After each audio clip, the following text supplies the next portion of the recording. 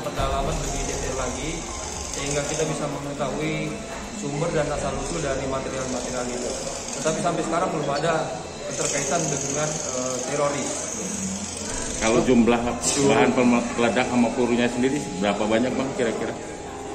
Uh, untuk peluru saja itu ada ribuan, tapi untuk bahan peledak uh, ini kan ada detonator, ada granat. Nanti kita uh, cek lagi dengan pasti datanya. Untuk jenis senjata api yang ditemukan? Itu berkaliber 7,62. AK-47 benar nggak? Medcom.id, a part of Media Group Network.